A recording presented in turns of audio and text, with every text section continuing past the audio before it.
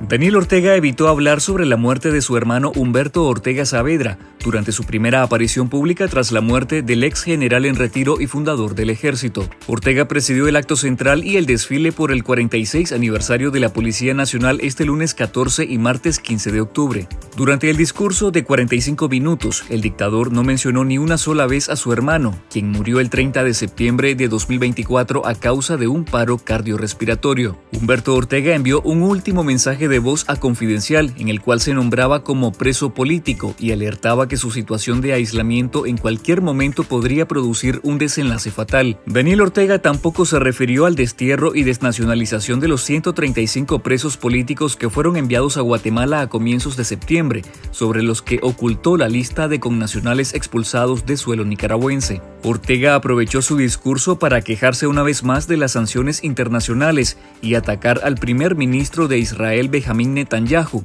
a quien tildó de hijo del demonio. Los insultos ocurrieron tres días después que Ortega rompiera las relaciones diplomáticas con Israel en apoyo a Palestina. En el mismo acto, el jefe de la policía, el primer comisionado Francisco Díaz, señaló a Estados Unidos y a sectores de la Iglesia Católica, empresarios y ONGs del supuesto intento de golpe de Estado de 2018 y reiteró su lealtad a la dictadura.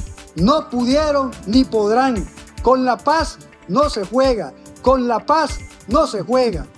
La principal misión de nuestro Ministerio del Interior, la Policía Nacional y nuestro Ejército de Nicaragua es defender la soberanía, preservar la paz y la seguridad